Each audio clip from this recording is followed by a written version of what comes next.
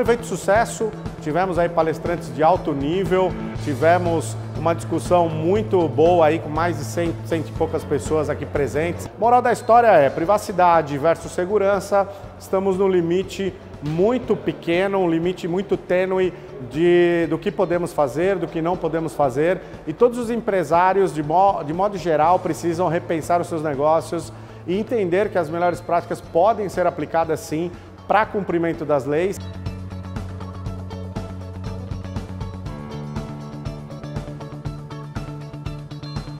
Parabenizar a Darius por esse evento, um evento muito importante, num momento muito importante, que vai transformar ah, o mercado de segurança da informação, porque ela vai se tornar algo obrigatório, algo que nós falamos a vida inteira que era necessário, agora vai se tornar obrigatório.